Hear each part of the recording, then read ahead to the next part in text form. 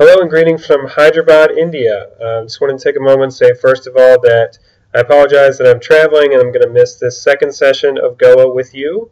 Uh, but thanks again to Jen for her willingness to cover this session for me. And I'm definitely excited to meet all of you in person during the third Goa session. Uh, but I thought it was particularly relevant uh, for, for me to talk with you regarding the diversity experiences you'll be talking about today, simply because I am actually not too far from the actual place, Goa, which is where the name comes from of the program, here in India.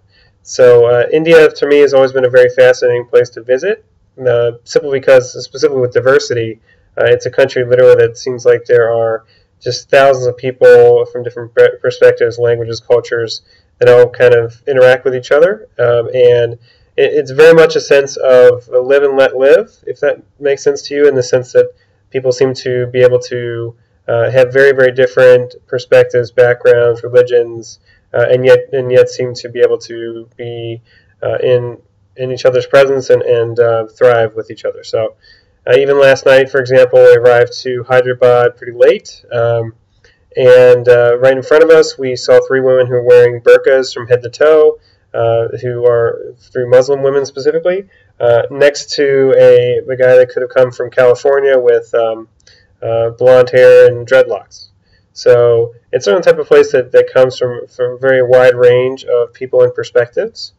Uh, and I think with regard to diversity, I hope that's your experience uh, in terms of your time at Xavier as well. One of the things that's very important to me uh, with the work that I do with the admissions office is to make sure that we are attracting students who come from many different backgrounds, many different perspectives, in the hopes that you really benefit a lot from, from interacting with people that might be a little bit different than you. And so I think one of the things that I really encourage you to think about today is is thinking about what you bring to the table, and all of us really do have very unique perspectives to bring. Uh, and it's very important for you to feel comfortable understanding what your own perspective is. Uh, your own perspective as a uh, student from wherever school you attended, from whatever um, you know, uh, what kind of experiences you've had so far at Xavier, whether you th- how you think yourself racially, um, socioeconomically, in terms of your gender, in terms of your sexual preference, all those kind of things. Uh, it's important to have a good sense of that, and I think what you're going to find over the next few years here at Xavier is that that helps to really expand your sense of that identity as well.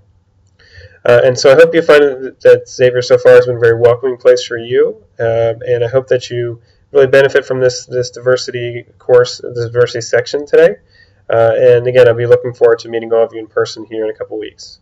So hope you have a great class and uh, look forward to meeting all of you soon.